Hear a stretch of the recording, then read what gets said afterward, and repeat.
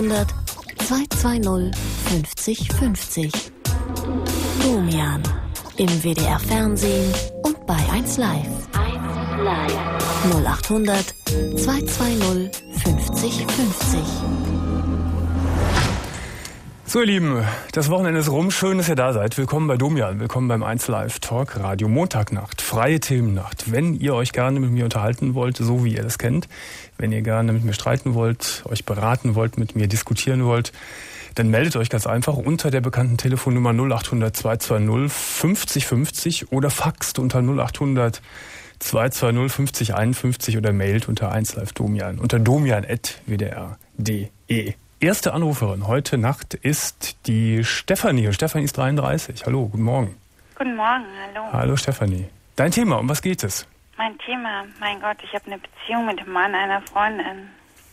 Du hast eine Beziehung mit dem Mann deiner Freundin. Ja. Einer Freundin. Meiner Freundin, ja. Der besten Freundin.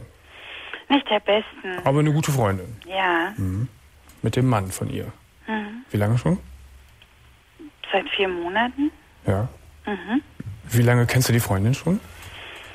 Zweieinhalb Jahre. Mhm. Und ihn kenne ich genauso lang. Ja. Wie kam es denn jetzt vor viereinhalb Monate dazu? Wir haben uns getroffen. Er erzählte mir, dass er seit zwei Jahren in mich verliebt ist. Mein Gott, wenn er das hört, weiß er genau, wovon ich rede. Ach, ihr habt euch also getroffen und da hat er sofort die Karten auf den Tisch gelegt? Ja. Äh, Ihr habt euch einfach mal so getroffen oder hat er das initiiert und hat gesagt, komm, Nein, nein, das war blanker Zufall. Zufall. Und dann hat er, hat er sofort gesagt, Mensch, hier, ich, Stefanie, ich bin seit zweieinhalb Jahren verliebt in dich. Ja. Krass, ne? Mhm. Extrem krass, ja. Warst du denn auch verliebt in ihn? Nein. Überhaupt nicht. Damals nicht, nein. Das hat dich also in dem ersten Moment dann auch äh, völlig überrascht und geschockt vielleicht sogar. Das hat mich geschockt. Ich wusste überhaupt nicht mehr, was ich machen soll. Was sagt man denn darauf dann? Man entzieht sich, man geht weg, man probiert, das loszuwerden und Mhm. es klappt nicht. Was hast du denn in dem ersten Moment ihm geantwortet, als er das gesagt hat? Mhm. Dass das Quatsch ist, dass das Schwachsinn ist, dass Mhm. das nicht so ist. Mein Gott, was sagt man da? Na, man könnte zum Beispiel sagen, ja, schön und gut, ich bin in dich aber nicht verliebt. Könnte man sagen. Richtig, das habe ich aber wohl nicht gesagt. Also du hast gesagt, äh, das ist Quatsch, das kann nicht sein. Ja, Weil nicht sein kann, was nicht sein, weil nicht sein darf, weil was nicht sein kann. Oder umgekehrt. genau. So, aber dann ist es irgendwie vorangegangen zwischen euch beiden. Hm. Wie kam das dann? Er stand eines Tages wieder vor meiner Tür. Mhm. Das war der Fehler an der Sache. Und da bist du schwach geworden. Ja. Und inzwischen ist es so, ich liebe ihn eigentlich genauso wie er mich und Ich habe auch kein schlechtes Gewissen mehr. Hast du nicht mehr deiner Freundin gegenüber? Nein, Warum, nicht? ich weiß es nicht. Ich hatte am Anfang so ein riesengroßes schlechtes Gewissen, ich konnte es gar nicht. Mhm. Ich konnte ihr gar nicht mehr in die Augen schauen. Es war einfach Wahnsinn. Und jetzt ist es einfach weg. Ich hasse sie eigentlich. Geht alles sehr schnell, ne? Das Ganze läuft ja erst vier, knapp vier Monate. Ja, aber ähm, ich weiß. ich weiß es. Ähm, was sagt er denn? Äh, kommt da der tolle Spruch, ich liebe euch beide? Oder? Nein, da So. kommt der tolle Spruch, ähm, da kommt der super tolle Spruch, ich kann nicht ohne dich leben, aber ich habe ein Kind und kann mich nicht von ihr trennen. Ach so, er schiebt das Kind vor. Mhm. Äh, sagt er auch etwas über seine Gefühle zu seiner Frau, zu deiner Freundin? Nein, das merke ich eigentlich nur, wenn ich sie sehe. Ich merke diese Gefühle, das ist Verachtung, das ist Ach so. Null Liebe. Null, es ist tot. Die, die Ehe ist letztendlich äh, kaputt. Mm, So sehe ich das, ja. Spricht denn deine Freundin, ich meine, noch seid ihr offizieller Freundin, oder wittert sie irgendwas? Nein, sie spricht schon noch mit mir. Das, Das heißt, ist ich- was für eine Situation. Das heißt, sie spricht mit dir über Mhm. ihre Ehe, Ja, nichts ahnend, dass du die Geliebte ihres Mannes bist. Ja, Und dabei hast du auch kein schlechtes Gewissen? doch. Doch, da musst du auch eins bei haben. Das finde ich schon. Mm, Das Wie- hab ich Ne? auch. Wie verhält, du, du, du, du kannst dich ja gar nicht neutral, äh, du kannst dich ja überhaupt nicht verhalten. Du, du, Ich bin nicht neutral. Nein, natürlich kannst du dich neutral verhalten. Was rätst du ihr denn dann? Rätst du ihr ab von, von dem Mann oder rätst du ihr irgendwie Nein, nein, sie hat keine Ahnung. Sie ist jemand, der absolut von sich überzeugt ist. Sie ist eine tolle Frau, sie ist eine Wahnsinnsfrau. Ja. Und sie ist absolut von sich überzeugt. Sie würde mich niemals als Konkurrenz sehen, niemals. Aber sie könnte dich ja um Rat fragen. Was, was soll ich tun? Hier, Stefanie, was, was soll ich machen? Was würdest du an meiner Stelle tun? Tut, sag, fragt sie sowas? Nein.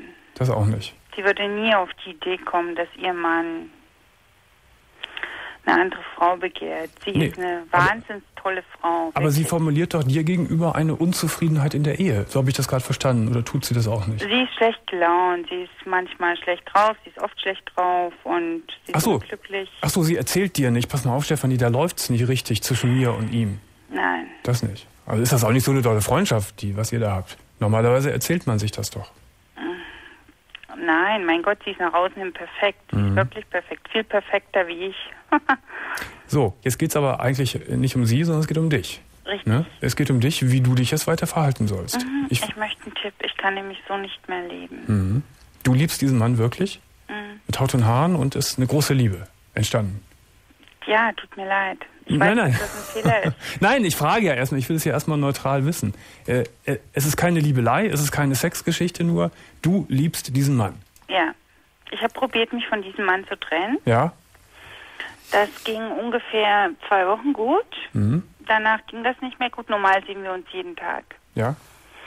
Und ich habe zwei Wochen vermieden, ihn zu sehen. Und ich habe alles getan, um dieser Beziehung aus dem Weg zu gehen. Aber es ging halt nur zwei Wochen gut. Mhm. Und danach sahen wir uns wieder. Und jetzt bin ich genau da, wo ich war. Gibt es denn eigentlich auch diese, diese, diese prekäre Situation, dass ihr euch zu dritt auch trefft noch? Mhm. Das auch noch? Ja. Wie schrecklich. Das ist der Hammer, oder? Ja, das glaube ich. Das glaube ich wirklich.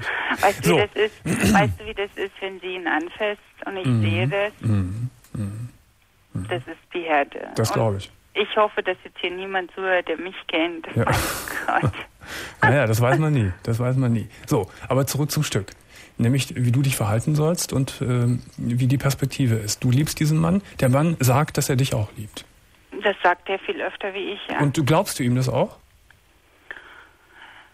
Ich weiß nicht, wenn ich ihm das glauben würde, ging es mir, glaube ich, besser. Ich weiß es nicht. Ja, Glauben allein reicht ja nicht. Äh, er, er, verhält sich ja nicht konsequent. Ne? Er, er, ist in einer Ehe, die offensichtlich völlig, völlig zerstört ist. Mhm. Und er sagt, er schiebt nur das Kind vor. Ja. Und sagt, deshalb will ich da bleiben. Ja. Das, ja. das geht auf Dauer natürlich nicht. So wie, ich, wie, wie, wie du mir vorkommst, äh, hältst du das eh nicht lange aus. Nee, ich halte es auch nicht lange nee, Das heißt, du letztendlich musst es jetzt auf die Spitze treiben. Auf die Spitze treiben heißt, äh, dass, dass du ihn wirklich massiv vor, vor, die, äh, vor die Alternative stellst. Entweder du veränderst was in deinem Leben und gehst zu der Frau, die du liebst, oder ich kann nicht mehr und ich gehe. Das ist ganz einfach gesagt, weißt du? Ich weiß, ich weiß, ich das weiß. Ist so ich einfach gesagt, ich habe das ja probiert. Ist mir klar. Gott, ich bin ja auch nicht dumm. Ich bin 33 Jahre, bin ja. dumm und ja. ich weiß genau, wie es funktioniert. Ja. Aber das ist einfach gesagt und ähm, das Leben ist ganz anders. Dieser Mann ist jeden Tag vor mir. Mhm. Jeden bescheuerten mhm. Tag. Mhm. Ich weiß, dass das einfach gesagt ist. Aber manche, manche Dinge sind einfach gesagt, manche, manche Wahrheiten sind einfach gesagt, aber unglaublich schwer getan. Ich ne? müsste mein ganzes Leben ändern, um ihm nicht mehr zu begegnen. Mein ganzes mhm. Leben. Das heißt, ihr arbeitet zusammen auch? Nein, aber wir sehen uns jeden Tag. Zwang, zwangsläufig? Ja. Ich möchte es nicht weiter nachhaken, um dich nicht äh, nee, erkennbar zu machen. Wir sehen uns zwangsläufig jeden Tag mhm. und das ist der Hammer. Mhm. Das geht nicht. Mhm. Ich müsste hier wegziehen, um das zu über, um da mhm. rauszukommen. Gut, äh, das ist, das, das verkompliziert das Ganze natürlich noch mehr. Aber es gibt dazu keine Alternative. Es gibt dazu keine Alternative, Stefanie. Mhm. Äh, als als äh, das einzufordern, was du, was du eigentlich möchtest und auch das andere anzudrohen. Selbst wenn das Angedrohte sehr schwer ist umzusetzen. Mhm. Äh, was, was willst du machen? Du, du, du kannst dich ja nicht in, du willst, du willst dich ja offensichtlich nicht mehr in die Rolle des, der Dritten ein, einfügen. Mhm. Kann ich nicht. Und die Loyalität der Freundin ist, ist äh, auch kaputt, ist auch weg. Das heißt, das ist dir egal. Die ist weg, es tut mir leid. Weißt du, ich war gerade sehr ja. krank. Mhm. Ich habe gerade Dummheiten gemacht und ich habe gerade probiert, äh, Dummheiten zu tun einfach. Was heißt das? Äh, gar nichts. Ich kann das jetzt nicht genauer erklären. Ich hoffe nicht, dass du dir versucht hast, das Leben zu nehmen. Ähm, ich hoffe wirklich, dass hier niemand zuhört, der mich kennt. Doch. Die, wegen dieser Geschichte? Mhm, nicht nur deswegen. Es war der einfach der Tropfen, der es fast zum Überlaufen mhm. gebracht mhm. hat. Mhm. Und ich habe aber eine sehr gute Psychologin, die mir wirklich, die, mhm. die hat mich, ähm, die hat mir einfach gesagt, pass auf, so und so weiter, so geht's nur mhm. und jetzt musst du überlegen, was du willst. Du kannst eh nur rübergehen, wenn du alles abgeschlossen hast und dieses Abschließen, alles, das ist zu anstrengend. Stefanie, forder von ihm, wenn auch nicht den, den ganz ersten radikalen Schritt, gänzlich zu dir zu gehen, forder von ihm, dass er seiner Frau von eurem Verhältnis erzählt. Mhm. Ich, ich, garantiere, dass, dass, dass dann dieses auch schon eine Eigendynamik bekommen wird. Vielleicht hilft ihm das dann auch, eher wegzukommen von ihr, wenn er alleine schon den Hintern nicht hochkriegt. Das sind die beiden Richtungen, die, die ich sagen kann. Die sind, die, ich weiß, es ist leicht gesagt, aber ich sehe keine, gar keine andere Möglichkeit. Wenn du nicht einfach so gehen willst und ihn äh, fallen lassen möchtest, das möchtest du ja nicht. Du möchtest ihn ja haben. Ja. Ja. Ich, ich muss dir ehrlich sagen, ich glaube ihm. Eigentlich glaube ich ihm jedes Wort, was er sagt. Mhm. Eigentlich. Aber eigentlich hat mich das Leben gelehrt, dass man, es tut mir sehr leid, du bist auch ein Mann, dass man Männer nicht glauben sollte. Vielen Männern nicht, das stimmt. Es tut ja. mir leid, aber es ist so. Ich bin, ja. wie gesagt, 33 und der, das Leben ist der Hammer manchmal. Du hast mir gerade gesagt, dass du äh, privat in, in, in, guter psychologischer Betreuung bist. Mhm. Ja, das heißt, äh, da bist du versorgt. Ich bin absolut gut versorgt, ich, ja. Ich, habe ich bin dir, froh, dass ich diese Frau habe. Ja, ich habe dir jetzt, was diese Problematik anbelangt, dir meine Meinung gesagt, die nicht leicht umzusetzen ist. Das ist mir völlig klar. Mhm. Ich möchte aber auch noch eine andere Meinung dazu ziehen, nämlich mhm. die von meiner Psychologin, die hier im Hintergrund sitzt. Mhm. Das heißt, ich würde gerne, dass du mit ihr jetzt auch noch weitersprichst. Mhm. Das Verfahren ist so, du legst auf und Claudia, so heißt die Psychologin, ruft dich an. Ja. Wärst du einverstanden? Ja dann wünsche ich dir richtig Kraft für den Schritt, den du jetzt tun musst. Irgendwas musst du tun. Mhm. Alles Gute von Herzen, Stefanie. Okay, danke. Auf Wiederhören. Tschüss. 0800 220 50 50, meine Telefonnummer hier kostenfrei für euch, für all eure Themen, die euch interessieren, über die ihr gerne mit mir äh, euch hier unterhalten wollt und diskutieren wollt. Daniel, 24 Jahre alt, guten Morgen. Hallo Domian. Hallo Daniel. Um was geht's? Meine Mutter hat heute einen Suizidversuch begangen. Also, Wie geht es ihr im Moment? Sie liegt also auf der Intensivstation. Ja, was hat sie, was hat sie genau gemacht? Ähm, wir wissen es nicht, also es könnten Antidepressiva sein, aber die Höchstwahrscheinlichkeit, dass sie sich halt Insulin gespritzt hat, weil oh. der Blutzuckerwert nur noch auf 7 war wohl. Ja. Und das ganz Schlimme ist, wir wissen nicht wann. Es hätte in der Früh sein können, es hätte mittags sein können. Mhm. Also ich bin rein zufällig aufgrund meiner Frau, also meine Mutter hat Depressionen, muss ich das zu sagen, mhm. schon seit langem. Ja. Und ähm, Deswegen macht man sich halt eh immer Sorgen. Ja. Ist meine Mutter wollte sich heute bei mir melden. Mhm. Hat es da nicht getan, deswegen habe ich halt vier, fünf Mal angerufen, da ist keiner dran gegangen. Mhm. Lebt sie alleine? Ja. ja. Also meine Eltern sind geschieden. Ja. Und dann hat meine Freundin gesagt, ja komm, fahr doch mal vorbei und dann guck mal, wie es dir geht, dann kannst du auch in Ruhe schlafen. Weil du schon ein bisschen was geahnt hast oder weil dir das Ganze nicht so ganz geheuer war? lässt sich so schwer sagen. Ich habe heute Mittag so eben gesagt, ja nicht, dass sich was angetan hat, also, weil ich weiß nicht, das mhm. war irgendwie so blöde alles gelaufen. Ich mhm. weiß nicht warum, ich weiß nicht, das, das war einfach so. Gut, dann bist du, bist du hingefahren? Ja, natürlich. Und wie hast du sie dann vorgefunden? Ähm, also im ersten Moment sah es einfach aus, als würde sie schlafen. Mhm. Und ich habe mich natürlich gewundert, weil sie nicht ans Telefon gegangen ist und dann hat sie geschlafen und äh, hat komisch geschnarcht. Ich habe halt noch nicht festgestellt, dass da irgendwie welche Flüssigkeit im, im, im Rachen war, habe ich noch gar nicht registriert. Ich mhm. habe sie ja zweimal, zweimal versucht zu wecken, mhm. Hat dann nicht geklappt. Und dann bin ich halt in die Küche gegangen, um einen Zettel zu schreiben, dass ich da war. Und dann lag da halt ein Abschiedsbrief. Mhm. Bin natürlich sofort rüber, dann Telefon gegriffen, stabile Seitenlage, Notarzt angerufen. Ja. Und dann hat der Notarzt auch gesagt, normalerweise ist es so, wenn man dann halt Glucose spritzen würde, dass die Patienten in der Regel innerhalb der nächsten Sekunden schon wieder ansprechbar wären. Mhm seit 8 Uhr haben wir das halt gemacht. Und jetzt ist halt auf der Intensivstation, hat Krämpfe und nicht an. Also, also ist sie denn, ist sie jetzt bei Bewusstsein im Nein, Moment? gar nicht. Gar nicht. Überhaupt nicht. Das heißt, man weiß nicht, wann das gespritzt worden ist, man weiß nicht, wie, wie hoch die Menge war. Überhaupt nicht. Ja, sie ist jetzt im, im, ja, im Koma, kann man sagen. Ja. Oder, oder? Ja, doch. Sie arbeitet halt selbstständig ja, wohl. Ja. ist halt nicht ansprechbar, also wirklich total abwesend. Mhm. Und das Problem ist auch, dass die Ärzte halt gesagt haben, sie haben halt wirklich nicht viel Hoffnung gemacht irgendwo. Also auf der einen Seite ja, auf der anderen Seite, die haben nichts halbes, nichts Ganzes gesagt. Mhm. Das ist also so ein Wahnsinn irgendwo. Das heißt, du bist jetzt nach Hause gegangen vorhin irgendwann äh, und weißt gar nicht ähm, richtig, man hat ja keine vernünftige Prognose gesagt. Gar nichts. Gar nichts. Also, man das heißt, hat gesagt, es könnten halt natürlich bleibende Schäden, weil man weiß noch nicht, wie lange es Ist sie denn, ähm, die können doch sagen, ob, ob sie äh, aus der akuten Lebensgefahr raus ist, kann man... Ja, das Problem ist, dass jetzt momentan also der Kreislauf ist stabil, mhm. aber aufgrund sie hat also eine Körpertemperatur gehabt bei der Einlieferung von 35,2. Mhm. Die Gefahr ist halt, dass sich eine Lungenentzündung holt und dass da die mhm. Lebensgefahr herkommt. Diese Insulinspritzerei, äh, wie, wie, wie kommt das, dass sie das getan hat? Ist sie medizinisch ein bisschen bewandert, äh, wie man das dosiert? Und sie hat Diabetes. Und daher weiß sie, dass wenn man das überdosiert, dass es dann äh, in der Regel tödlich äh, endet. Ich gehe davon aus, aber mhm. wie gesagt, die genauen Hintergründe, ich weiß nicht. Ich weiß natürlich, dass sie Depressionen hatte immer und ist sie denn in der letzten Zeit, in den letzten Jahren in, in Behandlung gewesen beim Psychiater oder Psychologen? Auch da hat sie halt nichts halbes. Sie hat sie halt von dem Arzt noch was verschreiben lassen Ach so. das dann nicht durchgezogen. Also keine, keine, keine stete Therapie, keine, keine klare Betreuung und so weiter. Sie hat mich immer wieder gefragt und gesagt, such den Therapeuten, mit dem du das dann durchziehst, dem du mhm. vertraust. Und mhm. das hat sie jetzt auch gemacht, aber das sind solche Sachen, wie sie hat Medikamente gekriegt, die sie am Tag einnehmen sollte. Mhm. Und hat die nachts genommen und sich dann beschwert, dass sie nicht nachts nicht schlafen kann. Ich verstehe das nicht. Ja, also wie alt ist deine Mutter? jetzt 53 sein, 30, mhm. also 51 geboren. Was stand, was stand in dem, in dem Abschiedsbrief drin?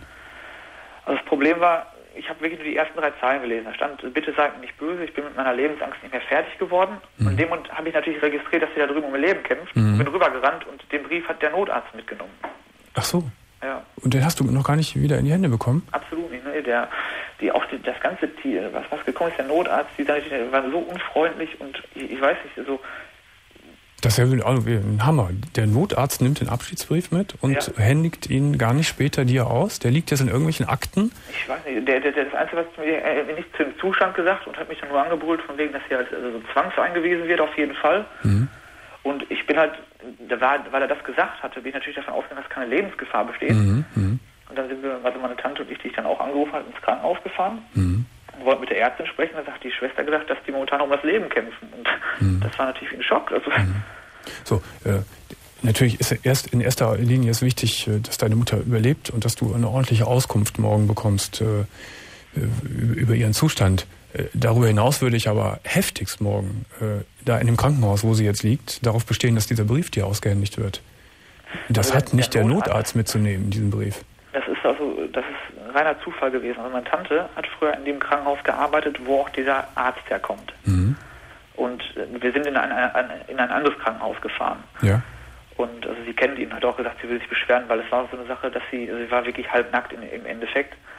Mhm. Und er hat ihr nicht mal eine Decke drüber getan. Die mhm. haben gesagt, ich geben Sie die Decke mit, dann sagt er, nein, ich lasse mir doch nicht sagen, wie ich meine Arbeit zu machen habe und so. Mhm. Das, also, also das, das finde ich ja ganz, ganz schlimm. Wenn die Situation ist schon grauenhaft genug, wenn, wenn man die Mutter da halb sterbend liegen sieht und dann auch noch Zickereien mit, äh, mit, mit, mit dem Arzt beispielsweise. Ja. Ja. Also, ähm, ja, hast du denn. Ja nicht annehmen, aber so ein bisschen Einfühlungsvermögen, das. Ja, ja, gut, aber das ist jetzt alles, alles zweitrangig. Äh, erstrangig ist, wie geht's deiner Mutter, wie, wie, wie, wie, wie wird es ihr morgen gehen und wird sie hoffentlich wieder richtig, äh, das, richtig gesund werden? Das eben weiß ich nicht. Mhm. Das das. Äh, wann, also du gehst morgen wieder ins Krankenhaus? Ja, natürlich. Ist klar. Mhm. Äh, da würde ich an deiner Stelle so lange rumsuchen, bis ich einen Vorgesetzten hätte, einen, einen leitenden Arzt oder einen, einen, einen Abteilungsleiter oder wen auch immer, der dir da wirklich klar und freundlich Auskunft gibt. Das Recht hast du als Sohn. Da würde ich mich nicht abspeisen lassen. Es ist deine Mutter, die lebensbedrohlich äh, erkrankt dort liegt. Das, das Problem ist, ich wüsste auch gar nicht, je nachdem, was man mir sagt, ich, ich wüsste, ich momentan ich bin der Sache irgendwie gar nicht bewusst irgendwie. Das ist mhm. so plötzlich, ich, da hat auch keiner mit gerechnet. Ja. Es wäre vielleicht gar nicht schlecht, wenn du jemanden mitnimmst, weil man ist dann so aufgeregt in der Situation und versteht auch nicht richtig und fragt nicht richtig nach. Es ist eigentlich ganz gut, wenn man zu zweit ist. Ja, und da vorne wieder mitkommen. Ja, ja.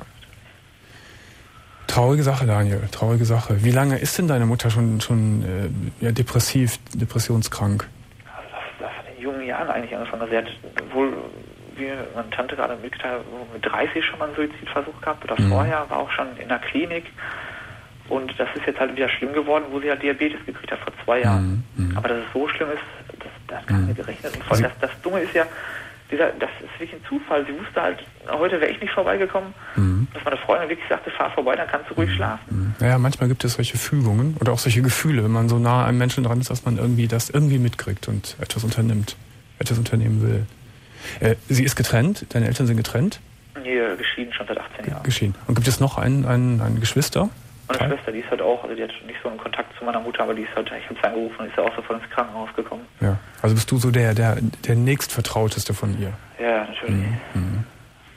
Also dann morgens Krankenhaus gehen, auf deine Rechte ja. bestehen, dich nicht abspeisen lassen, äh, lass dir den Brief aushändigen. Das ist, finde ich, auch sehr wichtig, äh, um, um, um zu wissen, wenn sie, was wir alle hoffen, dass sie durchkommt, äh, wie man ihr vielleicht danach dann besser unter die Arme greifen kann. Offensichtlich muss sie wirklich dann in eine, in eine Therapie, in eine, oder vielleicht sogar in, eine stationäre Behandlung. Das wäre vielleicht das Allerbeste. Ja, das auf jeden Fall, da sind wir auch der Meinung. Das Problem ist nur, dass, dass, dass so wie es aussieht, normalerweise ist ja, man, wenn man dieses Medikament gespritzt ist, wirklich gleich wieder da. Und das sieht momentan so übel aus, dass ich mhm. wirklich nicht weiß.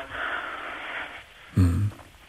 Gut, also wir wissen jetzt beide gar nicht die, die medizinischen Einzelheiten. Wollen wir einfach die Daumen drücken und hoffen und wirklich ganz, ganz inständig hoffen, dass sie, über, dass sie gut über den Berg kommt heute Nacht ja. und dass dann alle weiteren Maßnahmen äh, ab, ab morgen quasi schon eingeleitet werden können. So. Wünsche, wünsche dir alles Liebe, deiner Mutter von Herzen alles Gute und lass dich nicht abspeisen von den Ärzten. Alles klar. Alles Gute. Dankeschön, Tschüss, ja. Daniel. Ciao. Thorsten, 28. Guten Morgen. Ja, schönen guten Morgen, Jürgen. Hallo, Thorsten. Ähm, also ich wollte meiner, meiner Familie die schwarze Vergangenheit gestehen, die ich habe. Nochmal, ich sage nicht, du wolltest wem? Deiner Familie? Ja, ich wollte die meiner Familie die meine schwarze Vergangenheit gestehen. Deine schwarze Vergangenheit? Ja, und zwar habe ich jetzt meine dritte Anzeige gekriegt wegen wegen Sexualitäten. Das wolltest du mir gestehen und deiner Familie? Ich habe das akustisch nicht verstanden gerade. Nee, also ich, ähm, ich wollte es meinen Eltern gestehen. Ja? Ähm, ich habe nicht ähm, erstmal, ähm, wie soll ich sagen, war schwierig zu sagen. Fangen wir mal anders an. Du, da sind irgendwelche üblen Sachen gelaufen, die du gemacht hast. Ja. Was hast du gemacht? Erzähl's mir erstmal. Also, ähm, die erste Anzeige, die belief sich ähm, darauf, weil dass ich eine ehemalige Klassenkameradin am Telefon sexuell belästigt habe. Die zweite Anzeige. Wie alt warst du da? Bitte? Wie alt warst du da? Oh, 22 mhm. vielleicht. Mhm. Was hast du da? Du hast einfach eine ehemalige Klassenkameradin, von der du schon länger, länger getrennt warst, also die du länger nicht gesehen hast, hast du einfach angerufen und hast die mit, hast die belästigt sexuell am Telefon. Genau. Ja, einfach so die. Warum gerade die? Weil sie gut aussah. Mhm. Was hast du da am Telefon gemacht mit ihr? Äh, ich habe ihr was vorgestellt. Ach so. Und, mhm. und dass ich da irgendwo lecken will. Mhm. Und obszöne Dinge gesagt. Ja, genau. Ja. Äh, war ihr da schon klar, dass du das bist oder hat die das hinterher irgendwie per Fangschaltung oder wie rausgekriegt? Ja, genau, per Fangschaltung. Per Fangschaltung. Hat das zurückverfolgen lassen. Äh, wie oft hast du sie belästigt? Zehnmal vielleicht. Zehnmal. Mhm. So, das war die erste Anzeige. Die ja. zweite? Ja, bei der zweiten habe ich eine, mich von einer 16-Jährigen entblößt und mir einen runtergeholt. Draußen irgendwo auf der Straße? Äh, ja, an der Bushaltestelle. Ja. Wie alt warst du da? Äh, Grob, ich will es nur zeitlich einordnen. Ja, 25. 25. Jetzt heute bist du 28. Und ja. es gab noch, noch eine Sache. Ja, das ist jetzt die letzte Anzeige. Das Gerichtsverfahren steht noch aus jetzt. Hm. Da habe ich einer äh, ehemaligen Arbeitskollegin ähm, alles gestanden und auch, ja, auch gesagt, dass, wie, wie geil ich sie finde. Was heißt alles gestanden? Das, was du früher gemacht hast? Genau. Mhm. Das, was du mir gerade erzählt hast? Genau. Ja. Und hast dann aber gleich draufgelegt, dass du sie auch geil findest? Ja. Und dann? Und dann habe ich ja nur gesagt, ähm, was ich mir von ihr vorstellen würde, was ich mir von ihr wünsche. Ja. Also hast du sie auch, auch mit, mit Worten sexuell sehr, auch, auch sehr belästigt und sie genau. in, in die Enge getrieben. Ja. Auch mit sehr obszönen Sachen? Schon sagen. Würdest du schon sagen. Mhm. Ja. Daraufhin hat die Frau dich angezeigt. Ja, genau. Äh, bist du auch tatgreiflich geworden? Hast du, äh, hast du sie angefasst? Nein, gar nicht. Gar ich habe überhaupt Mhm. bisher noch nie eine angefasst. Mhm. Und dieses Verfahren läuft jetzt und steht, steht jetzt bald an, die Gerichtsverhandlung. Ja, richtig. Hast du das, hast du äh, das gestanden oder hast du es abgestritten? Also ich habe mich bisher noch gar nicht zu geäußert. Ich habe morgen einen Termin beim Anwalt. Mhm. Deswegen. Aber du bist äh, willens, das zu gestehen. Das ist, äh, das ja, ist, das ja. ja, du wirst, wirst dich da nicht irgendwie äh, schönreden wollen. Nein, um Gottes Mhm. Willen. Äh, Nochmal Nachfrage zu dem, zu dem ersten Fall. Du hast die, die ehemalige Klassenkameradin sexuell belästigt, dann hast du dich vor einem Mädchen entblößt und onaniert, vor einem 16-jährigen Mädchen. Was hast du dafür? Wie, wie bist du da bestraft worden? Äh, beides mit Geldstrafen. Mhm. Und ähm, bei der zweiten Gerichtsverhandlung, da habe ich mir selber als zur Auflage gemacht, dass ich auch in Therapie gehen würde. Ja. Lass mich kurz eben fragen, wie hoch war die Geldstrafe? Hm, Ich, würd's, ich weiß jetzt auch nicht mehr genau, es war, glaube ich, ungefähr über den Daumen gepeilt 1000 Euro jeweils. Mhm. Ja. So, und dann hast du bei der zweiten Verhandlung gesagt, ich, ich äh, gehe selbst in Therapie. Ja, Bist, bist du in Therapie, ja? ja, ich bin in Therapie und ich habe dem Psychologen auch bisher noch nicht alles erzählt. Also er weiß nur, was von den ersten beiden Anzeigen. Ja. Was, was gibt's da noch, was, was er nicht weiß? Ja, die ähm, dritte Anzeige weiß er noch Ach, nicht. das weiß er noch gar nicht. nee, Das läuft ja nun auch schon eine ganze Weile, wahrscheinlich ein paar Wochen, oder? äh, seit Anfang März, Seit Anfang März. Und du gehst jeden, jede Woche zu dem Psychologen? hm, alle zwei Wochen. Ja, ein Jetzt in bisschen, letzter Zeit auch nicht mehr so häufig. bisschen wenig, finde ich. Ja, Aber du hättest Gelegenheit gehabt, es ihm zu erzählen, aber du hast es noch nicht erzählt. genau. So kann man sagen. Mhm. Mhm. So, dann hast du gerade am Anfang, da haben wir uns ein bisschen missverstanden, äh, von deiner Familie gesprochen. Dass du der Familie das auch gestehen möchtest? Ja, weil ich mir dadurch hoffe, dass ich mir da auch mein Gewissen irgendwie erleichtere. Ja. Äh, was, was heißt denn Familie? Bist du, bist du verheiratet oder meinst du deine Nein, meine Freundin hat sich durch, jetzt durch die letzte Anzeige äh, von mir getrennt. Du lebst also alleine, bist Single? Ja, ich so, muss jetzt diese Woche ausziehen. Ja. Und mit Familie meinst du deine, deine Eltern oder Geschwister oder? Oder meine Eltern und meine Schwester. ja. Ähm, und die wissen von, von allem nichts, auch von den ersten Geschichten nicht? Also das Einzige, was sie wissen, ist das von der ersten Anzeige. Mhm. Mhm. Und die Freundin hat sich jetzt aufgrund der zweiten Geschichte von dir getrennt. Äh, von der dritten. Von der dritten Geschichte, ja. ja. Mhm. Und ich habe. Das hast du ihr schon dann ganz offen erzählt. Ja. Mhm. Hast du, Thorsten, was habe ich gesagt, 28 bist du. Hast, hast du für dich so, ich meine, du gehst jetzt ein, ein wenig in eine Therapie. Ich, ich glaube schon so aus dem Lameng jetzt sagen zu können, dass das viel zu wenig ist, was du da machst, aber, aber egal. Äh, hast du schon für dich so eine, so, eine, so eine leichte Vorstellung, was da mit dir los ist, warum du so Sachen machst? Ich denke mal, das kann man vielleicht aus meiner Vergangenheit irgendwie noch hervorrufen, sage ich mal. Weil, ähm, äh, weil damals in der, ich war irgendwann mal äh, in der Surfschule, da, so, da hat mir einer, wollte mir der Chef von der Schule mit mir auch an mein bestes Stück fassen. Und das wollte ich bei ihm auch machen. Aber ähm, äh, nur von einem Reißverschluss irgendwie so dran fassen irgendwie. Mhm. Also nicht durch eine offene Hose oder sowas. Aber es ist dann nie etwas, etwas Härteres passiert. Nein. Nein. Also er, er wollte mich auch noch zu ihm nach Hause einladen. Mhm. Wie alt warst du da? Mal 15 Ja. ungefähr. Aber es ist dann weiter nichts, nichts passiert. Nein, Nein. ich, weil ich es auch nicht zugelassen habe für mich Mhm. irgendwie. Was machst du vom Beruf? Äh, ich bin jetzt arbeitslos, Ja. Und vorher? äh, weil ich ähm, Gartencenterverkäufer. Im Gartencenter. Mhm. Ja, So, dritte, dritte Anzeige. Äh, zum dritten Mal ist was passiert. Das ist, glaube ich, jetzt der, der, der absolute Warnschuss gewesen, ne? dass, dass da was unternommen werden muss. Dass diese psychologische Betreuung, die du da hast, eigentlich zu wenig ist. Und wenn du sie, wenn du schon dich auf eine psychologische Betreuung einlässt, Thorsten, ja, dann musst du auch wirklich die Hosen runterlassen jetzt im wahrsten Sinne Ja. des Wortes. Diesmal wirklich im, im, im, symbolisch, im symbolischen Sinne. Und die Karten auf den Tisch legen und alles sagen.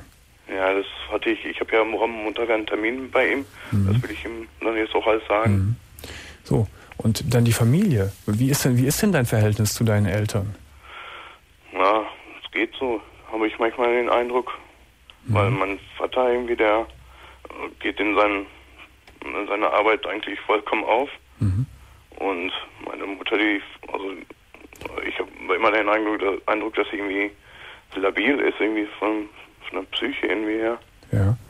Dennoch ist es dir wichtig, du hast ein schlechtes Gewissen deinen Eltern gegenüber und es wäre dir irgendwie eine Erleichterung, wenn du es ihnen erzählen könntest. Ja, genau. Mhm. Mhm. Wie wird deine, wenn du sagst, deine Mutter ist labil, wie, wie, wie, wie schätzt du es ein, wie sie damit umgeht? Das ist ja nun doch schon eine schlimme Sache, wenn der Sohn so, so, so Dinge tut. Ich weiß es nicht. Mhm. Muss ich gestehen. Mhm. Es wäre vielleicht, ich meine, es ist sicher sehr, sehr, sehr, sehr gut, wenn du sagst, ich, ich möchte die Wahrheit sagen, auch meinen Eltern gegenüber, und es wird mein, mein Gewissen erleichtern und äh, vielleicht treibt es dich ja auch noch mehr an, wirklich was zu unternehmen. Ja, deswegen, das war eigentlich auch so mein Gedanke. Ja, und du hast jetzt hast du schon dein, deine Freundin verloren durch, durch den Scheiß, den du da machst? Ja, und meine Arbeit auch jetzt. Ach, das hängt damit auch zusammen, Ja, genau. Ach so, wie? Die, äh, das war ja eine Arbeitskollegin gewesen und die ist dann zum Chef gegangen und Aha, also ha- musst du schwere Opfer tragen. Ja, genau. schon, ne? Ja. Mhm. Äh, wie lange warst du mit deiner Freundin zusammen? dreieinhalb Jahre Dreieinhalb Jahre. Und sie ist völlig enttäuscht und ange, angeekelt von dir und hat gesagt, ich will nicht mehr, kein Bock. Genau. Mhm. Mhm. So, Thorsten, ich glaube, dass, dass das Allerklügste ist, erstmal natürlich jetzt bei, bei der Verhandlung, die ansteht, äh, radikal da auch die Wahrheit zu sagen und äh, da äh, natürlich keine Rumlügerei zu veranstalten. Ja. Und das Zweite ist, ähm, hast, hast du denn eigentlich, eigentlich ein gutes Gefühl zu diesem Psychologen oder ist der dir auch ein bisschen, ist es nicht so dein, dein, dein Ding, dein Typ? Also, ähm, also eigentlich ist das schon mein Typ, nur Ja. äh, bisher ging es immer nur so das Frage-Antwort-Spiel. Irgendwie er, er fragte immer bisher und Ja. ich habe immer einfach nur Antworten immer drauf gegeben. Okay, dann finde ich, ist, ist der nächste Schritt, ihm jetzt auch den reinen Wein einzuschenken, was alles passiert ist. Und ihn äh, wirklich ganz offen zu bitten, ihm zu sagen, äh, du hast den Eindruck, dass das alles zu wenig ist, was im Moment passiert. Er soll äh, gemeinsam mit dir an äh, etwas Neues überlegen, entweder mit ihm zusammen oder vielleicht sogar, dass du auch eine Weile in eine stationäre Behandlung kommst. Ähm, dass da was Neues, was wirklich überzeugend Psychologisches eingetütet wird. Ja. Und wenn du das gemacht hast, dann würde ich das so im Paket deinen Eltern erzählen. Ja. Dass, dass die auch sehen, du, du zeigst Reue und du hast sogar auch schon noch neue Sachen wieder eingeleitet. Mit all zwei, drei Wochen mal zum Psychologen äh, rennen funktioniert das nicht. Das geht auf keinen Fall. Ja. Da muss man jetzt schon mit, mit, mit, ähm, mit, mit strengeren Dingen ran und mit, mit, mit geballteren Dingen ran. Ja.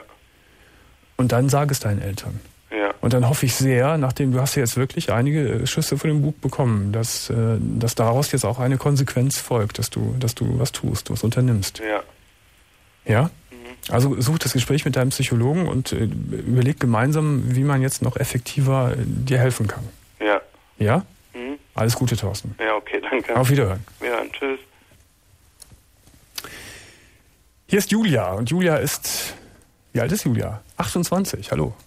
Hallo. Hallo Julia. Über was reden wir? Was ist dein Thema? Mm, Dass ich keine Freunde habe. Dass du keine Freunde hast? Genau. Überhaupt keine Freunde. Gar niemand. Überhaupt gar niemand. Weder Eltern noch Verwandte noch Freunde, gar niemand. Also ein einsamer Mensch. Ganz einsam, ja. Ganz einsam. Mhm. Wie lebst, du, Leider. wie lebst du so, Julia? Wie, was machst du vom Beruf beispielsweise? Gar nichts. Also ich bin Mami. Du bist Mami. Ja, von einem eineinhalbjährigen Sohn. Aha, also gab es da dann doch schon auch mal einen Mann irgendwann. Äh, Den gibt's leider in Anführungszeichen immer noch. Der Mhm. eigentlich auch der Grund für das ganze Dilemma, ja, Aha. darstellt. Das heißt also früher, wenn man jetzt mal ein paar Jahre zurückspulen, äh, hat, hattest du schon Freunde oder Bekannte um dich herum? Ja, ich war ein kontaktfreudiger Mensch. Ich hatte Freunde ohne Ende, die am Wochenende angerufen haben. Was Aha. äh, unternimmst du? Kommst du mit irgendwo Ja. hin? So, und jetzt sagst du, dass dieser Mann, der, der Vater deines Kindes, quasi Ja. schuld daran ist, dass, dass du so vereinsamt bist. Genau. Warum? Erklär mir das. Ja, also ich habe ihn kennengelernt in einer Diskothek durch eine Freundin. Mhm.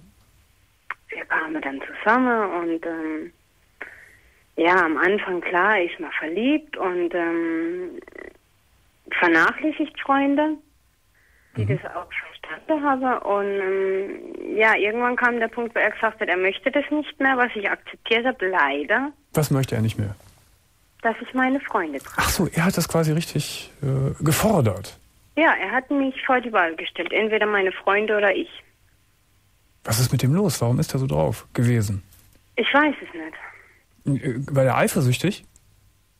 Ich denke teilweise ja. Aber es ging ja auch um Frauen, um Freundinnen und um ganz normale. Es ging nicht nur um Männer. Also ich hatte Ja. männliche Bekannte, ich Ja. war zeitlang solo, ich hatte männliche Bekannte Mhm. wie auch weibliche. Mit denen männliche, das habe ich teilweise noch verstanden, Ja. weil er der Meinung war, es gibt keine Freundschaft zwischen Mann und Frau. Ja, was völliger Unsinn ist, immer nebenbei gesagt, aber egal. Ähm, genau. Mhm. Und ähm, ja, also mein bester Freund zum Beispiel war ein Mann. Ja.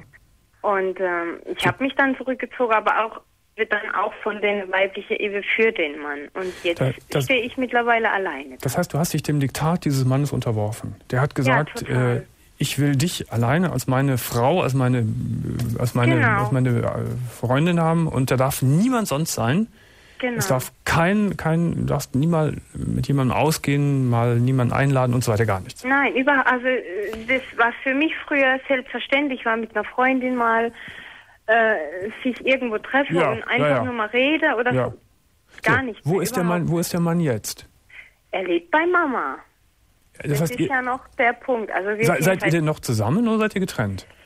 Wir sind leider noch zusammen, weil ich nicht den Mut habe, mich von ihm zu trennen. Ihr seid eigentlich zusammen, er lebt aber bei der Mama. Genau. Er hat, er ist der Vater deines Kindes, Er kommt dreimal die Woche ja. und dann guckt man DVD. Also unser Leben spielt sich auf der Couch ab. Ja, gibt's noch Sex zwischen euch beiden? Äh, ja, teilweise. Wenn er es also fordert. Ja. Also, äh, also ich versuche das. Äh, ich habe jetzt schon sechs Wochen lange Blutungen vorgeschoben und, und Kopfschmerzen und Im, weiß Klar, ich nicht. Im Klartext, du hast da überhaupt keine Lust drauf. Nein, überhaupt, Überhaupt nicht. Mhm. nicht. Gar nicht. Mhm.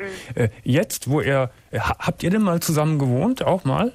Haben wir, ja. Ja. Bis es zum großen Krach kam. Dann ging er zu Mami. Mhm. Und, jetzt, na, Mami, jetzt, nachdem er bei der Mama wohnt, äh, verbietet er, er dir immer noch, dass du mit Freunden wieder Kontakt aufnimmst. ja, also er kontrolliert mein Handy. Mhm. Er hat auch mein Handy, also er hat den Vertrag gemacht. Mhm. Mein alter Vertrag wurde gekündigt. Er hat den Vertrag für mein Handy gemacht. Ich darf keinen Festnetzanschluss haben. Also er kontrolliert mich äh, auf Schritt und Tritt. So, Julia, jetzt stellt sich natürlich sofort die Frage, äh, warum lässt du dir Der das gewünschte gefallen? Gesprächspartner ist vorübergehend nicht zu Na erreichen. prima, na toll. The person you've called is Jetzt temporarily not available. Jetzt nehmen wir das mal weg hier und wir versuchen äh, aus der Regie die Julia nochmal anzurufen. Ähm, da machen wir erstmal weiter mit äh, Kiki, bis wir hoffentlich Julia wieder haben. Das ist jetzt sehr ärgerlich. Sehr schade. Kiki, wer ist denn Kiki? Hallo? Ich bin Kiki. Du, ach, du bist Kiki. Ja, So, ein, ein Mädel. ja. Kiki, was, für was steht denn Kiki? Ja, das kann ich jetzt nicht sagen. Ach so, ach so, äh, es ist, äh, ist, ist okay, ist okay. Ein sogenannter Nickname. Genau. Ja. Über was unterhalten wir uns, Niki? Äh, Kiki, nicht Niki. Über die Zeugen Jehovas. Über die Zeugen Jehovas. Oh weia. Sag ich mal so. Äh, Ja. Oh weia. Bist du Mitglied? Ich bin nicht getauft, aber voll dabei. Das heißt, du bist durch die Familie reingekommen. Nein, ich bin da von mir aus reingekommen. Ach. Wie kommt, seit wann? Wie lange jetzt schon? Zwei Jahre Ja. Und ungefähr. äh, wie kommt das? Also, ja, ich bin psychisch krank, habe Borderline-Persönlichkeitsstörung Mhm. und ähm, habe Halt gesucht irgendwo Ja, und habe den bei den Zeugen gefunden. ja. Die haben dich irgendwo angesprochen? Auf der Straße, ja. Auf der Straße, so ganz normal, wie man das so kennt. Die stehen ja mit ihren, mit den Heftchen oft draußen. Genau. Und äh, so kam der erste Kontakt zustande zwischen. Haben die dich angesprochen oder du sie? Die Äh, haben dich. die mich. Die haben dich angesprochen. Mhm. Ja. Daraufhin habe ich dann bei dem Königreichssaal angerufen in dem Ort. Bei was? Beim Königreichssaal? Königreichssaal, ja. Was, was ist das? Das ist der Saal, wo die sich immer versammeln. Ach so, ach so. Mhm. Und gefragt, wann die Versammlungen so sind. Mhm. Und seitdem bin ich da drin. Äh, fühlst du dich dort gut? Bisher ja. Ja. Nur jetzt habe ich, wie Ihr Kollege sagte, eine kleine Affäre. Mhm. Was der Kollege sagte das? Ja, Der hat das wahrscheinlich dann so übernommen und dir in den Mund gelegt. Also es ist eine kleine Affäre. Das heißt, du hast einen Typ irgendwie. ja. Und da vorehelicher Geschlechtsverkehr bei den Zeugen ja total verpönt ist, Mhm. weiß ich nur nicht so recht, was ich machen soll. Hast ein Problem. Ja, Äh, was, du hast gesagt, dich, dich zieht es hin zu den Zeugen Jehovas, weil da so eine Gemeinschaft ist. mhm. Nun kann kann man ja spontan gleich sagen, es gibt ganz viele andere, auch, äh, auch religiöse Gemeinschaften, auch die großen Kirchen, wo, wo man auch eine Gemeinschaft hat und einen Halt findet. Oder war es jetzt wirklich einfach der Zufall, der dich dahin getrieben hat? Kann man das so sagen? Das kann man so sagen, ja. Ja. Aber die haben mich schon so weit, dass ich schon mein, Jehova sieht, was ich tue und wird mich dafür bestrafen. Das klingt mir aber ganz so, dass, äh, dass er doch schon etwas Kritik mitschwingt und dass das alles nicht eitel Sonnenschein ist für dich da. Nee, ist es auch nicht. Mhm. Ich habe mich von meinem Freund damals getrennt wegen den Zeugen. Mhm. Ich habe Rauchen aufgegeben, was nicht das Schlechteste ist. Das, das ist natürlich ein guter Zug, ja. Ja. Ja. Ja, und sonst noch so Dinge. Was sonst noch? Ich hatte mich zwischendurch mal in eine Frau verliebt. Ja. Das musste ich ganz schnell wieder fallen lassen, weil das ist noch Das- verpönter. Das ist des Teufels. Ja, Ja. Ja. Was machst du vom Beruf? Gar nichts. Ich bin krank. Du bist also so, so erkrankt, dass du nicht arbeiten kannst. Ja, Mhm. ich habe mal MTA gelernt.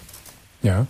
Ähm, du hast dich jetzt verliebt, ich, ich gehe mal davon aus, nicht, du hast dich verliebt nicht in einen Zeugen Jehovas, Nee, sondern in irgendeinen anderen äh, Menschen. Mann, Ja. Mann diesmal. ja. Mhm. Ähm, hast du denen das gesagt schon? Ja, das habe ich ihnen gesagt. Und was haben die, wie haben die darauf reagiert?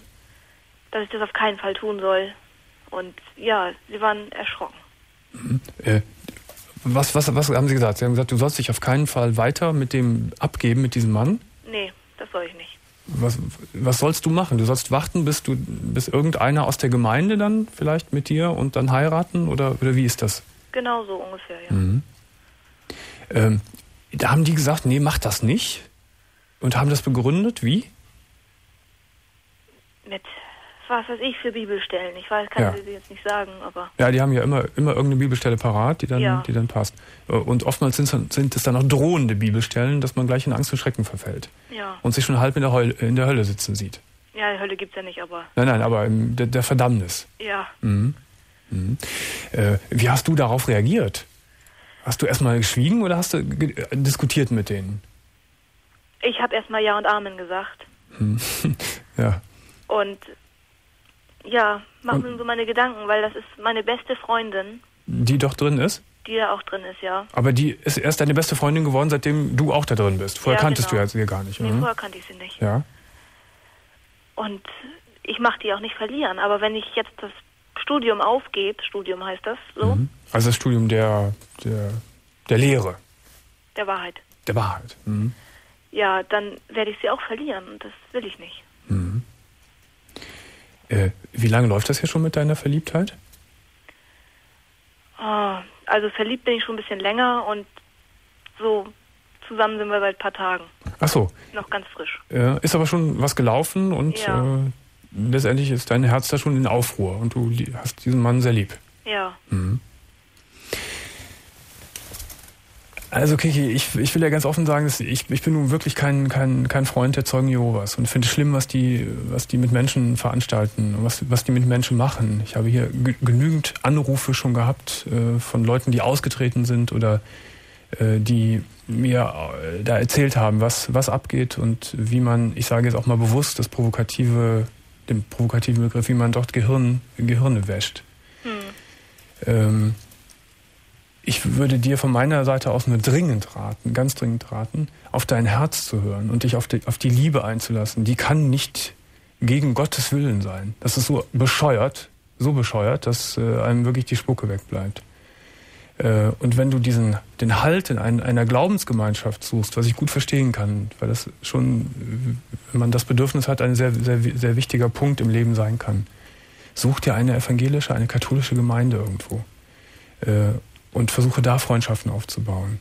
Nun sagst du mir gerade, dass, dass, du, dass du diese Freunde nicht verlieren willst. Mhm. Aber weißt du, was ist denn das für eine Freundin? Wenn, wenn, wenn die dich fallen lässt, nur weil du ein, ein Leben in Liebe leben willst. Du tust doch nichts Böses. Weißt du? ja, Du tust doch nur wirklich nichts Böses. Wenn du sagen willst, ja, ich will, ich will jetzt äh, Heroin nehmen oder ich will einbrechen oder so. Aber du willst einen Mann lieben, einen Menschen lieben. Und du glaubst weiter an Gott. Ja, ja. Ja. So, und dann lässt die Freundin dich dann fallen. Dann ist es auch keine Freundin. Ich finde, sie ist dann keine Freundin. Ja. Aus welcher Gegend kommst du? Magst du es mir sagen? So grob. Norddeutschland. Norddeutschland, ja. Ähm, ich würde gerne, dass du mit meiner Psychologin jetzt noch mal ein paar Worte redest. Ja. Äh, einmal äh, ein psychologisches Gespräch und vielleicht kann dir meine Psychologin auch noch ein paar, einfach ein paar, paar Adressen von, von Gemeinden, katholischen, evangelischen in deiner Gegend sagen. Kannst du selbst entscheiden, wie du, wie du, das, wie du das machen möchtest. ja, Lass dich nicht knechten. Lass dich nicht in, in, lass dich nicht bestimmen von anderen Menschen. Mach das, was du für richtig hältst und was Gutes. Und wenn du liebst, dann ist es gut. ja. Hm? Hm. So, jetzt legst du auf und wir rufen dich gleich nochmal an, okay? Okay, Alles Liebe. tschüss. Tschüss. Ja, mit Julia, das klappt wohl nicht. Ich sehe keine Julia. Wie schade. Dann haben wir hier den Jan. Und Jan ist 40 Jahre alt. Guten Morgen. Guten Morgen. Guten Morgen. Hallo Jan. Hallo. Ist immer schön, dass ich durchgekommen bin. Ja, schön, dass du da bist. Ja, danke. Und was geht's denn bei dir? Ähm, Angstzustände. Mhm. Und zwar in Bezug auf ein ganz bestimmtes Thema, das ist HIV. Mhm. Ich habe da mal vor Jahren sehr schlechte äh, Erfahrungen gemacht. Inwiefern? Hatte eine Beziehung mit einem Mann, äh, also ich bin schwul, Mhm. äh, die dauerte knapp vier Jahre. Mhm. Äh, der war HIV-positiv, hat es mir halt nicht gesagt, obwohl, Die, ganz, die ganzen vier Jahre nicht gesagt. ja, davon gehe ich aus, weil er wusste es. Ich habe es erst nach Ende der Beziehung erfahren. Und äh, ja, das hat damals bei mir ziemlich Angst ausgelöst. Das war in den 80ern, Mhm. wo das Thema Du, gerade du so- hast dich aber nicht äh, innerhalb dieser Beziehung infiziert. Nein, Gott sei Dank, weil Mhm. mich halt bestimmte Praktiken, die ich nicht mache, halt. Ja. Äh, Nochmal gefragt. Und du gehst davon aus, dass er das die ganze Zeit wusste und es dir nicht gesagt hat. Ja, in dem Moment, wo das Thema kam, war die Antwort seinerseits auch so. Mhm. Und seitdem schleppe ich also immer so eine Panik mit mir rum. Da, dass du dich eventuell doch äh, infizieren könntest. Genau. Ja. Lebst Geht du halt so weit, dass ähm, also Sex sehr schwer ist. Also ich lasse mich da auf fast gar nichts mehr ein. Mhm. Ähm, unterstelle auch jedem so diese Unehrlichkeit. Mhm. Ist natürlich auch hart, muss ich auch ehrlich zugeben. Wenn ich vier Jahre mit einem Typ zusammen bin und der HIV-positiv ist und mir das nicht sagt, ist das so eine unglaubliche Schweinerei, dass, dass man dass man es eigentlich gar nicht glauben kann. Ich habe auch zig Tests gemacht danach. Ähm, Mhm. selbst die habe ich noch angezweifelt. Das hat sich total festgesetzt. Hat der sich denn mal irgendwann später dazu geäußert, warum er das nicht gemacht hat? Äh, nee. Hat er sich denn wen- wenigstens entsprechend vorsichtig verhalten, dass, dass er sagen kann, ich habe verantwortungsvoll geha gehandelt? In Bezug auf andere? Ja, bezogen, be- bezogen auf dich. Äh, nee. Also er hat das Risiko voll in Kauf genommen, dass, dass du eventuell hättest auch infiziert werden können. Das, das kann ich nicht, ja, das kann ich im Nachhinein gar nicht so beurteilen. Also, Also hatte, ich, hat, ich setze das einfach voraus, weil er nichts gesagt hat. ja, hatte, hattet, ihr, hattet ihr ungeschützten Geschlechtsverkehr? Nein. Also, also, ich sage, das war in den 80ern, da kam das Thema gerade so, so richtig hoch. Es, ähm, ich sage ja, bestimmte Praktiken haben mich letztendlich beschützt. Oder, oder wo ich sage, das ist mein Glück gewesen, dass ich so, aus, aus dem Vertrauen heraus das eben ähm, trotzdem nicht gemacht habe. Also ihr, hat, ihr hatte gar keinen Analverkehr. Richtig, zum Beispiel. Also, mhm. also äh, da war die Gefahr auch relativ gering, dass du dich hättest infizieren können. Richtig. Bei mir sitzt das Thema bloß so extrem tief drin, Mhm. dass, ähm, dass ich also teilweise, ich habe mich also reichlich informiert, wobei man sich infizieren kann und Mhm. nicht und um damit auch für mich selber wieder klarzukommen, zumal ich einen ähnlichen Fall in den späteren Jahren danach nochmal erlebt habe, wo mich auch jemand angelogen hat. Mhm. Ähm, ja, aber ich bin dann teilweise, dass ich mich nicht mehr drauf einlasse und habe auch mache auch eine Behandlung, also bin beim ähm, Psychologen in Behandlung. Sag mal, wie lange liegt denn diese vierjährige Beziehung eigentlich zurück? Offensichtlich lange, ne? Du sprichst von den 80er Jahren. Ja, genau, Ende der 80er. Ende der 80er Jahre. Das heißt, äh, seit über zehn Jahren, noch ja, viel, viel länger als zehn Jahre, schleppst du mit dieser Angst, schleppst du diese Angst mit dir rum. Richtig.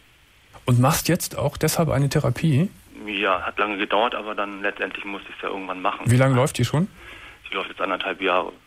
Bringt's ein bisschen was? Nee. Nee. Das ist ja Auch nüchtern. meine Frage. Also ich suche da irgendwie. Das ist ja nüchtern, wenn man nach anderthalb Jahren sagt, bringt nichts. Bist du für einen falschen Therapeuten. Finde ich. Finde ja, ich. wie Weil- den richtigen finden. Das ist die große Kunst, sage ich dir. Wie den richtigen Arzt finden, wie den richtigen Therapeuten finden. Ähm, was macht, was, wie zeigt sich diese Angst denn noch? Noch, du hast gerade gesagt, ich lasse mich kaum auf, auf Sexualität mehr ein. Äh, Also ich kann mal so ein Beispiel nennen. Wenn ich jetzt ähm, jemanden kennenlerne, ähm, das ist gerade der Fall gewesen, ähm, hängt auch immer mit Misstrauen und so zusammen. Also wenn dann auch wieder rauskommt, dass dort gelogen wird, das war hier auch so, dann mhm. kam das geballte Thema, nämlich dass im Hintergrund auch, also wurde gesagt, derjenige wäre solo zum Beispiel, ist er gar nicht, ist ein Partner im Hintergrund, der wieder HIV-positiv ist, wo mhm. das Thema bei mir gleich total ausgelöst wird. Mhm. Und äh, wo ich aber auch noch kein, äh, keine sexuelle Verbindung zu demjenigen hatte, sondern mhm. halt ja, küssen, wie man das halt mhm. eben so macht. Aber mhm. selbst das ist bei mir dann schon das Ding, was dann diese Panik auslöst. Mhm. Obwohl du rein rational ja, weißt. Natürlich, klar. Äh, weiß, dass dabei nichts passiert. Dass da nichts passieren kann. Und du, du weißt auch, wie man sich schützen kann, ja, gerade vor AIDS schützen kann, was dich eigentlich ganz entspannt an alles herangehen lassen könnte, aber das geht halt nicht. Nee, die weil es, weil es, stärker, die sitzt total tief. Weil es sich so einge, eingefräst hat schon. Und ich vermute auch so, so verselbstständigt, wenn du so, so viele Jahre, über zehn Jahre das hast, ist das auch nicht mit, mit so einer klugen, rationalen Überlegung wegzukriegen. Richtig. Wenn vor allen Dingen du schon jetzt über ein Jahr beim Therapeuten also bist. Mir wurde das so als Phobie schon mhm. unterstellt, mhm. die also auch so weit geht, dass, also bei mir geht das wirklich so weit, tagsüber geht das, mhm. aber äh, ich schlafe halt nachts nicht richtig. Also wenn ich zur Ruhe komme, dann mhm. fängt es halt an. Ja, also eine, aus, eine ausgesprochen sehr ernstzunehmende Erkrankung ja. mittlerweile, die ihren Anfang genommen hat mit dieser AIDS-Geschichte, mittlerweile aber dein ganzes Leben bestimmt. Kann man sich fast zwischendurch auch mal verselbstständigt hatte in andere Bereiche, aber dass ja. es schon so weit wieder gekommen ist, dass es sich zurückrationalisiert ja. hat auf diese eine Sache. So, äh, jetzt können wir dir natürlich hier keinen guten Therapeuten nennen. Klar. Das können wir leider nicht. Aber wir können dich, das heißt meine Psychologin, ich kenne das auch nicht, meine Psychologin kann dich beraten über verschiedene Therapieformen. Vielleicht ist dir da schon ein bisschen mitgedient. Das wäre nicht schlecht. Ne, das wäre wär schon mal ein Anfang. Und sicher kann sie dir auch noch ein paar Tipps geben, wie man. Ja, weil so geht es nicht weiter, weil da geht auch Lebensqualität verloren. Und ja, ja, ja, ja. Und wenn ich anderthalb Jahre rumdoktor bei jemandem, dann heißt, würde, heißt das für mich, das geht nicht. Weg mhm. da, mhm. weg, so schnell wie möglich. Okay. Ähm, vielleicht äh, kann meine Psychologin dir auch noch den einen oder anderen Tipp geben, wie man so klug recherchiert nach einem Psychologen, wie man es macht. Das wäre nicht schlecht. So, du legst auf, wir rufen zurück. Alles klar. Alles Gute. Vielen Dank. Tschüss. Und Jessica. Jessica, Jessica. 19, hallo. Hallo. Hallo Jessica.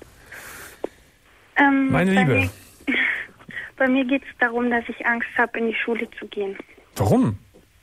Weil, also, ich bin eine Zeit lang nicht gegangen, weil ich Migräneanfälle hatte. Mhm. Das war so meistens jede Woche ein paar Tage. Mhm. Und dann ist es halt immer schlimmer geworden, dass die Mitschüler geredet haben über mich und gelästert haben. Weil du äh, länger Zeit ausgefallen bist dann oder, oder ja. irgendwie? D deshalb haben die schlecht geredet? Ja, weil sie halt, die haben mir das nicht geglaubt. Die haben so, gedacht, ich habe halt keinen Bock. Ah ja, die spielt ja. uns was vor, die will nur blau machen. Und ja. äh, Migräne ist ja immer eher so eine Sache, wo viele sagen, oh, stell dich nicht so an und so weiter. Ja, mhm. genau.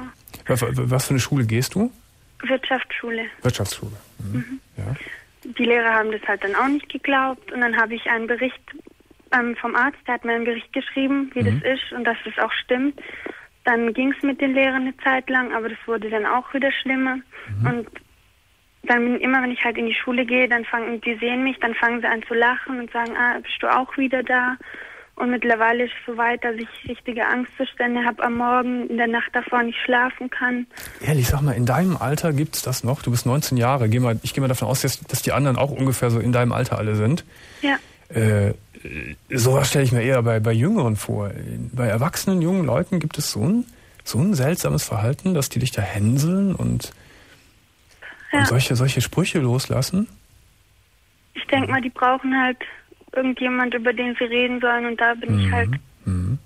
Durch diese Ausfälle, äh, ich habe es jetzt nicht so äh, durchgerechnet gerade, ob das so sehr viel war. Bist du denn überhaupt noch immer wieder so mitgekommen mit dem Stoff?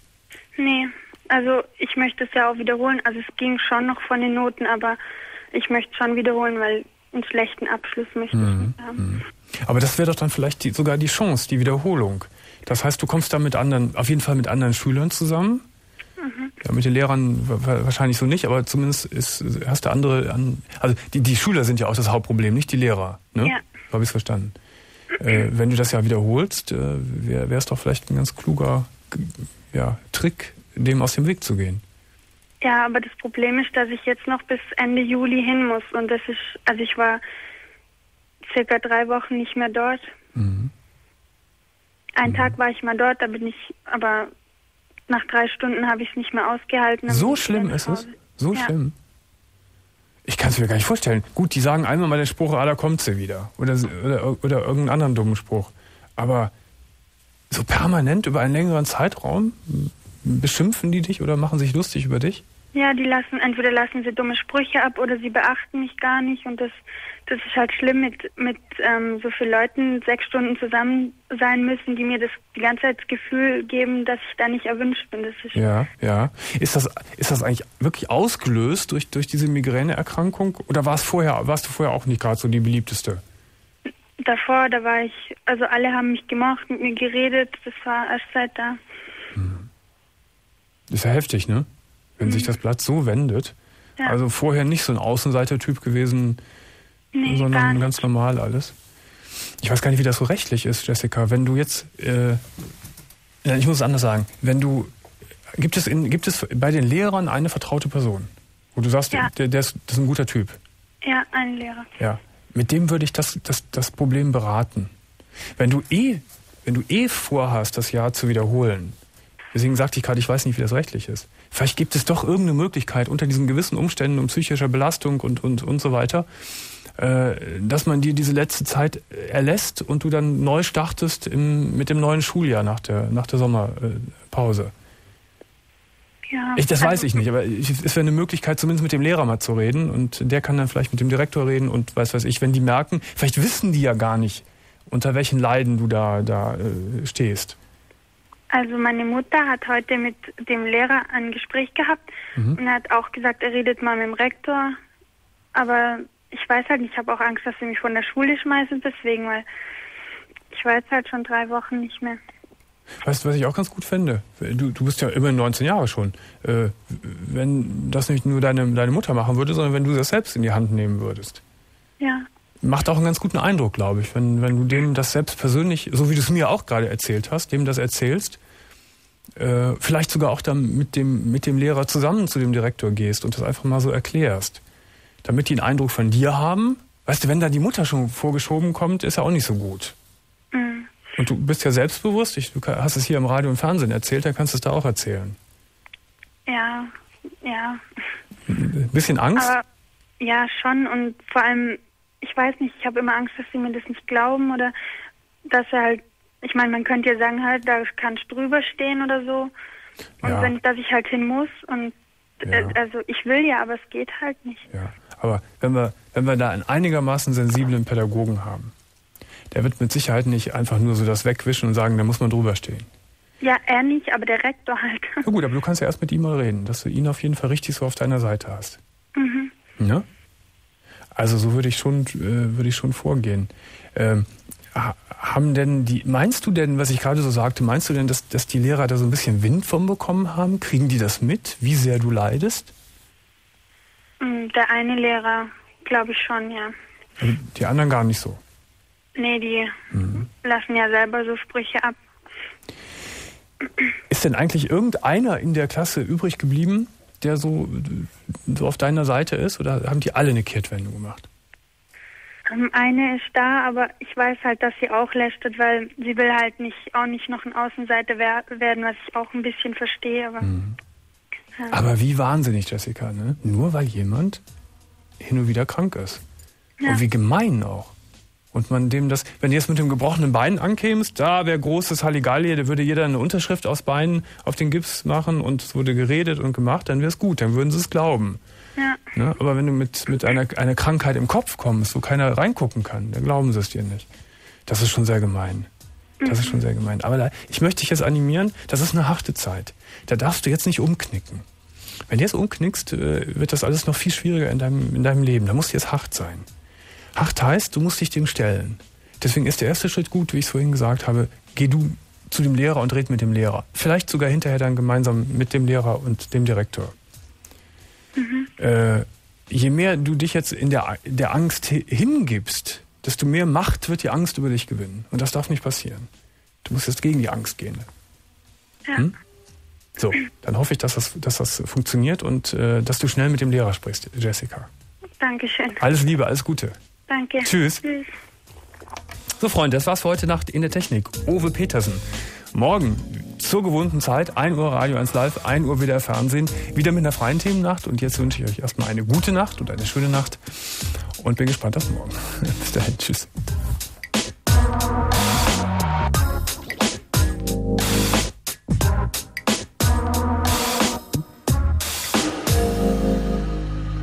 Bis 2 Uhr vom Rundfunk Berlin-Brandenburg hören Sie Nachrichten.